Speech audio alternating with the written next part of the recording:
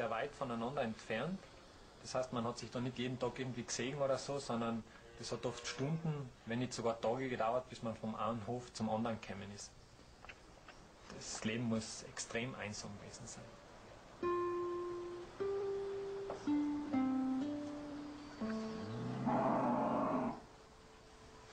Wir sind lebende acht Geschwister gewesen und wir haben alles auf den Hof gehabt, was wir gebraucht haben.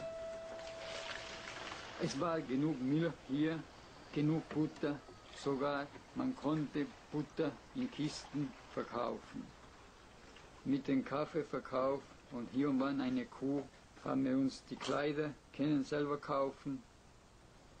Der Reis, der Kaffee, die Fett und alles das musste über diesen Maultierpfad, es hat ja keine Straße gegeben. Da hat man drei Tage braucht bis Huancabamba und noch einen vierten Tag bis Oxapampa. 120 Kilometer. Aber es war eine sehr anstrengende Strecke. Die Leute sind dann in Huancabamba angekommen, voll Schlamm, dass man nicht einmal gewusst hat, wie die Kleider ausgeschaut haben. Ich habe diesen Weg 22 Mal gemacht. Das sind ganz seltsame Erinnerungen. Die Isolation hat praktisch 120 Jahre angedauert. Also immer wenn jemand aus Bosuso hinaus wollte, musste er den schwierigen Weg in Kauf nehmen und die Lebensweise der Bosusiner hat sich dadurch oder in dieser Zeit fast überhaupt nicht verändert. Es hat einfach keinen Kontakt zur Außenwelt gegeben. Es ist eigentlich alles so geblieben, wie es am Anfang war.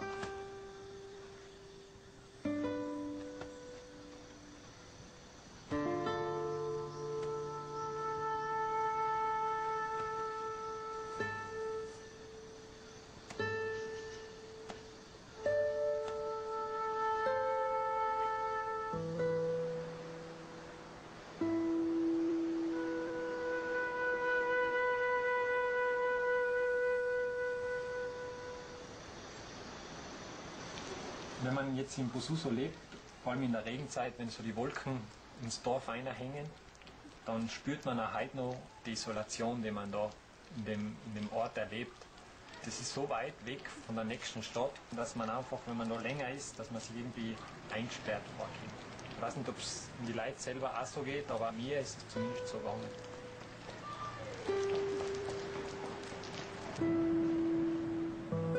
Fertigstellung der Straße 1975, ich glaube, das war so ein Wendepunkt und seitdem hat sich sehr viel für Bosuso verändert.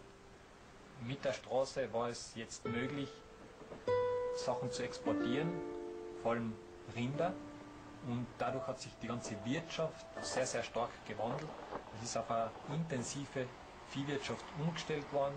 Die Kühe sind aus den Ställen rausgekommen, sind auf die Wiesen gekommen und dadurch ist sehr, sehr viel, extrem viel Regenwald abgeholzt worden und das geht immer weiter. Also es, auch heute kann man das noch sehr gut beobachten.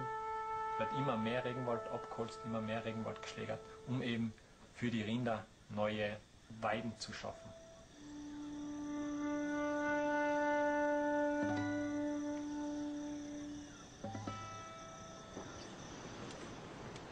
Durch den Verkauf der Rinder ist sehr viel Geld nach Bosuso geflossen und man kann sagen, dass für peruanische Verhältnisse Bosuso richtig wohlhabend geworden ist.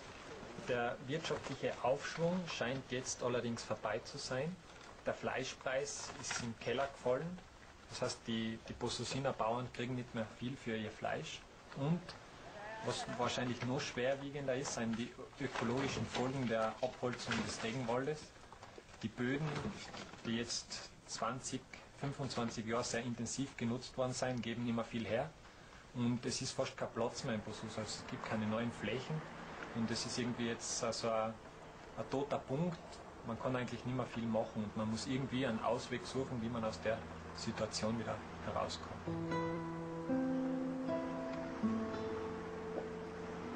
Die Straße hat neue Möglichkeiten eröffnet und hat da sehr viel Veränderung mitgebracht. Es sind Leute von außen zugezogen, haben natürlich ihre Kultur, ihre Sprache mitgebracht, haben sich mit den Bosusinern vermischt und dadurch hat es eine Entwicklung genommen und die hat Bosuso sehr, sehr stark verändert. Also ich habe die Vorstellung gehabt, dass mehr Leute nur dort Deutsch sprechen und bin dann aber sehr schnell draufgekommen, dass die junge Generation spricht nur mehr Spanisch. Also Posuso hat einen alten Kern noch mit der alten Kirche, mit dem Museum und noch zwei, drei alte Häuser. Am anderen Ende ist aber, man kann sagen, ein neues Dorf entstanden, das eigentlich nicht mehr viel mit dem alten Dorf zu tun hat, von der Bauweise. Das ist schon sehr lateinamerikanisch. Es gibt auch teilweise schon sehr armselige Behausungen. Ich glaube, das hat es früher nicht in dem Ausmaß gegeben, wo man einfach schon sagen kann, also die Leute leben schon in einer extremen Armut. Das Verhältnis zwischen Auswanderern und Lateinamerikanern hat sich sehr stark verändert. Und jetzt ist eigentlich die Mehrheit äh, lateinamerikanisch, also zugezogene oder zugeheiratete von außen. Von der Stadt kommen die Leute mit einer anderen Kultur. Von Hochland kommen die anderen mit einer anderen Kultur. Und diese deutschsprachigen Ansiedler sind in der Minderheit. Und dann gibt es das eine Identitätskrise.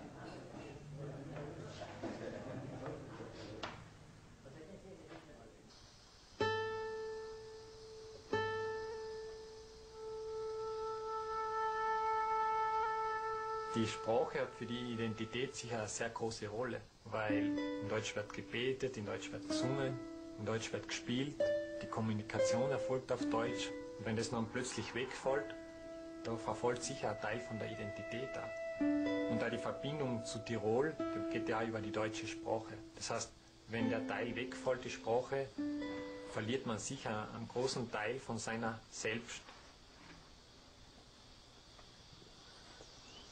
Unser Leben, wenn wir klein gewesen sind, das ist ein bisschen schwer gewesen. Ne?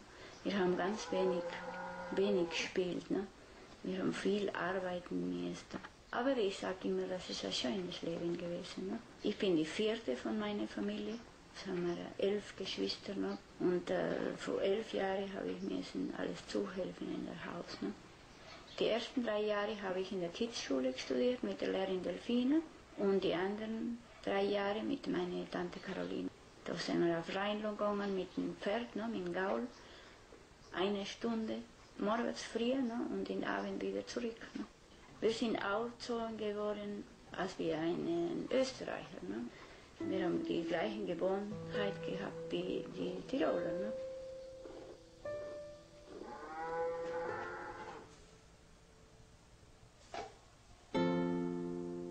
In Haus haben wir immer Dialekt gesprochen. Bloß nachher sind die Arbeiter gekommen und sie haben uns ausgelacht, weil wir das Dialekt gesprochen haben. Und dann haben wir uns geschämt, ne? haben wir angefangen an Spanisch. Ein schlechtes Spanisch, aber haben wir Spanisch gesprochen. Ne? Ich glaube, wäre besser gewesen, als wir Quechua lernen, anstatt Spanisch.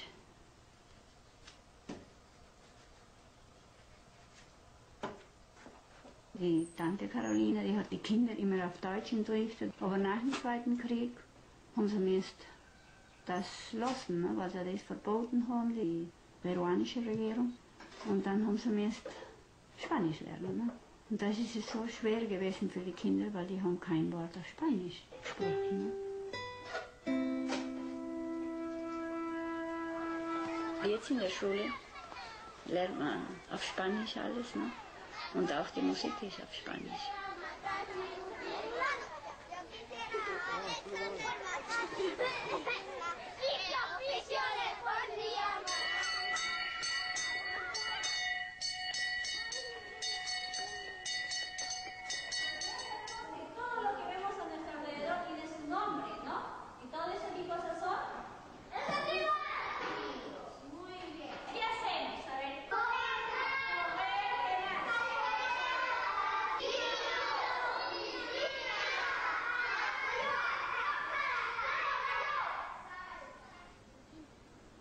ersten Wochen, die waren für mich extrem anstrengend. 20 Stunden da in der Klasse zu stehen, das war echt, also ich war am Anfang jeden Tag komplett fertig. Und erstens schreien sie alle außer und zweitens mit einer unheimlichen Lautstärke. Also es hat mir einfach eine irrsinnige lange Zeit gekostet, bis wir den Lärmpegel ein bisschen dämpfen können und einfach normal miteinander reden.